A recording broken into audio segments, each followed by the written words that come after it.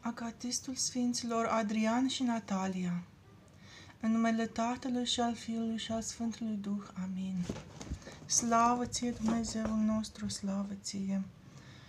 Împărate, Ceresc Mângâietorule, Duhul adevărului, care pretutindene ești și toate le împlinești, Vistierul bunătăților și stătătorule de viață, vino și te sălășluiește într noi și ne curățește pe noi de toată întinăciunea și mântuiește bunele sfătele noastre.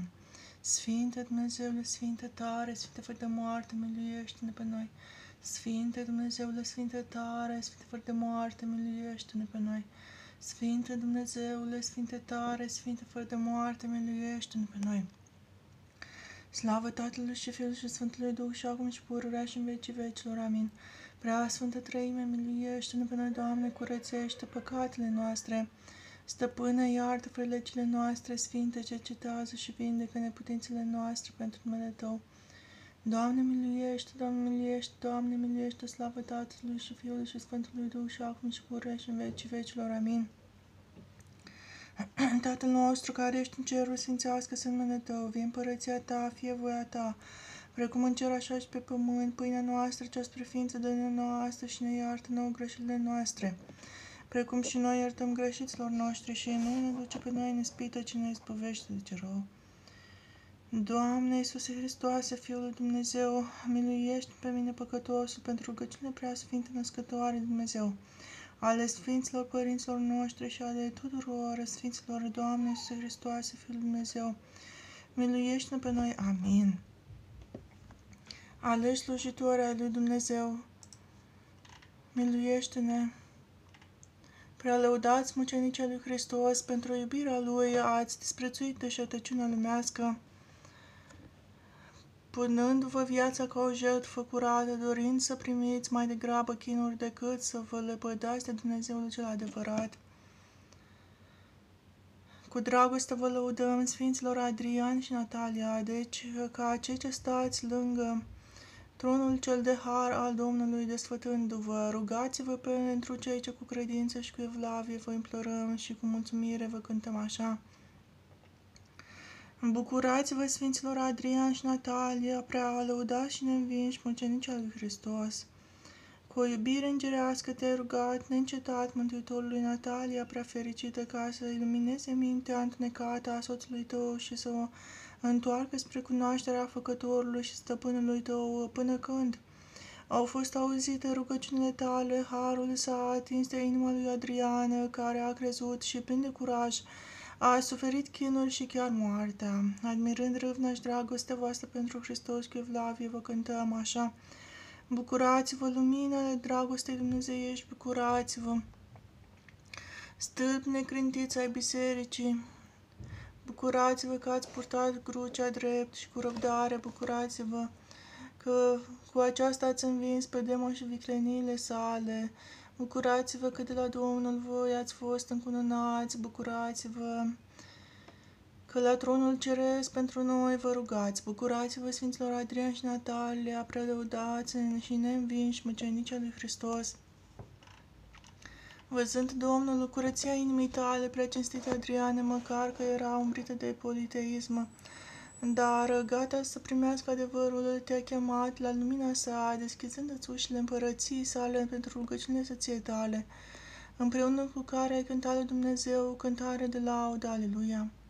Înțelegerea adevărată cunoștinți de Dumnezeu ți-a umplut sufletul Adriane când, ca notar, scriai numele Sfinților Mucenici, osândiți la chinul și moarte pentru numele Domnului, când ai întrebat pe servii lui Hristos ce răsplată o să primească ei de la Domnul în împărăția sa pentru martirajul lor, ei au răspuns că limba nu poate spune și mintea nu poate cuprinde ce a pregătit Dumnezeu celor ce iubesc pe El. Îndată ai părăsit religia cea păgânească și din toată inima ai strigat și eu sunt creștin. Lăudând întoarcerea ta către soarele dreptății, te rugăm, primește împreună cu soția ta, Sfânta Natalia, la noi păcătoși și laudele acestea. Bucurați-vă ai adevăratului Dumnezeu, Sfinți slujitori, bucurați-vă ai voii lui Sfinte, buni împlinitori, bucurați-vă că în locul frumuseții Pe Hristos l-ați iubit, bucurați-vă că iubirea conjugală lui o ați dăruit. Bucurați-vă că ne zice să nu ne lipim de cele de jos, ci de cele de sus. Bucurați-vă că ne putințe să urcăm neancetat, ne-ați spus. Bucurați-vă, Sfinților Adrian și Natalia, prea lăudați și neînvinși, mucenicii lui Hristos. Întărit cu putere de sus, ai mers fericit la nevoință și chinul dorind să mor pentru Domnul și Mântuitorul tău. Soția ta Natalia, cu rugăciuni și îndemnuri ți ajuta să ridici crucea rânduită de Domnul și să primești cu nuna nestricăciunii pregătită ție în ceruri și cu îndrăzneală să cânți lui Dumnezeu. Aleluia!